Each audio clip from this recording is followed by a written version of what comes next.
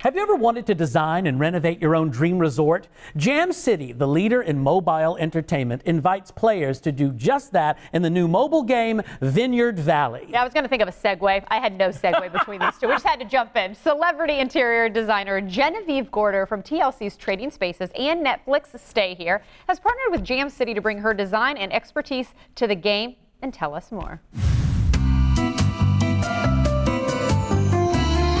Jam City actually reached out and asked me if I would be a part of this game they're building, Vineyard Valley, and I was so nerdy excited. Like I haven't been this excited about a job in a long time because it's so new for my category. Vineyard Valley is one of the best games we've ever created at Jam City. It's an amazing combination of challenging puzzles, wonderful interior design, and a deep mystery that you get to solve through the game.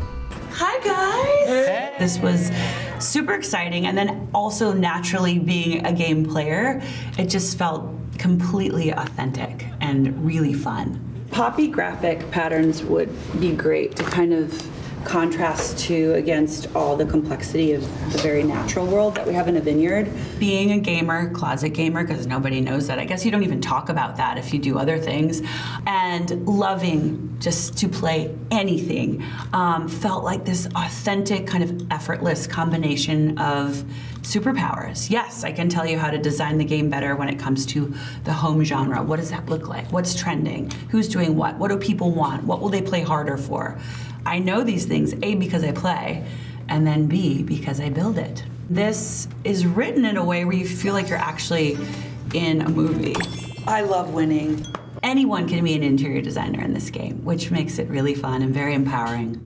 When things don't look as good as they possibly can in a design driven game, I stop wanting to win because the couches are ugly. I don't want to earn them. Now we're getting to a place where the aesthetics are kind of matching the current of now and that makes me excited to play.